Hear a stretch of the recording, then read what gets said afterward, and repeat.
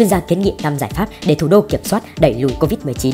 Với số lượng ca mắc gần 3.000 ca mắc một ngày và đang có xu hướng tăng cao trong thời gian tiếp theo. Tuy nhiên, thời gian qua, công tác phòng chống dịch tại thủ đô Hà Nội vẫn đang được tổ chức quyết liệt, tỷ lệ bệnh nhân nặng, bệnh nhân tử vong đang trong giới hạn kiểm soát. Thành phố hiện tại đang điều trị 62.410 người, gồm 361 người tại bệnh viện trung ương và 62.049 người thuộc các tầng quản lý điều trị. Trong đó tầng nhẹ là 59.150 người, tỷ lệ 95,33%, tầng 2 là 2.263 người, tỷ lệ 3,65%, tầng 3 là 636 người, tỷ lệ 1,02%. Đáng chú ý, mới đây, Sở Y tế Hà Nội đã ghi nhận một trường hợp nhiễm biến thể Omicron là người nhập cảnh vào Việt Nam đã được cách ly. Như vậy, nguy cơ biến chủng mới xâm nhập là rất lớn.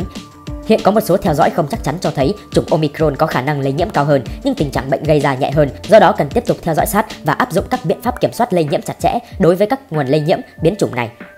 Tại phiên họp, Phó giáo sư tiến sĩ Nguyễn Viết Nhung, giám đốc bệnh viện phổi Trung ương đã chia sẻ kinh nghiệm trong điều trị các bệnh nhân F0 thể nặng tại bệnh viện và các F0 thể nhẹ tại nhà.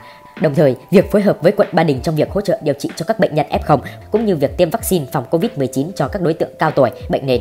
Phó giáo sư tiến sĩ Nguyễn Việt Nhung cho rằng hiện nay chúng ta cần xác định đích đến là ba không, không nhiễm, nếu nhiễm không chuyển nặng và nếu chuyển nặng không tử vong. Nếu làm được thì Covid-19 sẽ không còn là đại dịch. Để thực hiện được ba không, theo Phó giáo sư tiến sĩ Nguyễn Viết Nhung, các địa phương của thành phố Hà Nội cần thực hiện 5 giải pháp như: thứ nhất, giảm lây nhiễm để kiềm chế những ca mắc mới, trong đó người dân cần thực hiện nghiêm 5K, khai báo một cách thân thiện, có thể không dùng thuật ngữ F0, F1 mà thay bằng người nhiễm và người tiếp xúc gần.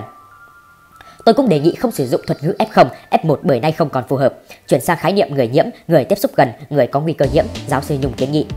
Thứ hai là giải pháp tiêm phủ vaccine cho 100% dân số, gồm cả người cao tuổi và có bệnh nền để giảm chuyển nặng, giảm tử vong. Do vậy, các địa phương cần đi từng ngõ, gõ từng nhà để giả soát danh sách các bệnh viện tuyên truyền, cùng đồng hành với các địa phương để tiêm đủ vaccine cho người dân. Thứ ba, chăm sóc người nhiễm tại cơ sở, đồng thời tăng cường trạm y tế lưu động cấp phường xã.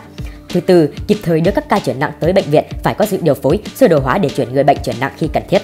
Cuối cùng là phải tăng cường năng lực của các bệnh viện trong công tác khám chữa bệnh cho các bệnh nhân COVID-19. Đồng tình với những ý kiến xác đáng này, Chủ tịch Ủy ban nhân dân thành phố Chu Ngọc Anh cho biết, Hà Nội cũng đang hướng tới mục tiêu 30 và đang tháo gỡ từng phần việc, có các quy trình dựa trên ứng dụng và nền tảng các phần mềm quản lý F0 hiện nay.